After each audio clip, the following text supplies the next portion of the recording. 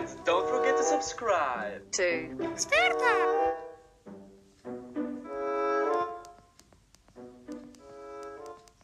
I smell pennies.